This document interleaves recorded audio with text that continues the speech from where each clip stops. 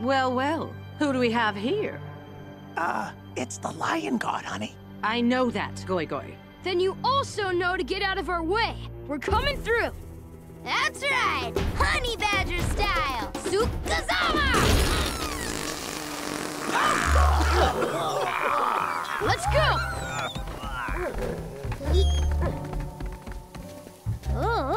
Gotta admit, I'm glad I'm on Bunga side. Indeed, it's definitely better than being behind him.